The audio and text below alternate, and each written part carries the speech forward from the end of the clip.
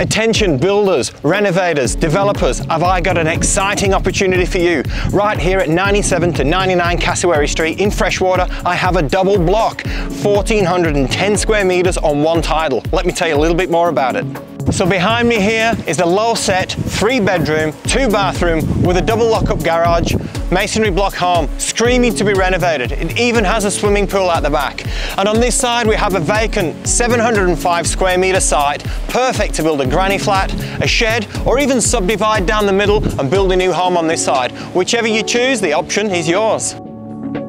The home itself is a solid, low-set masonry block construction. It consists of three bedrooms and two bathrooms, and yes, it's a little rough around the edges. However, that'll make it a fun project to modernise and renovate. The layout of the home is like an L shape and wraps around this lovely pool area and out over the gardens next door. This is a highly sought after location and a prime suburb, just a few hundred metres from Freshwater State School, shopping centre, train station and all conveniences close by.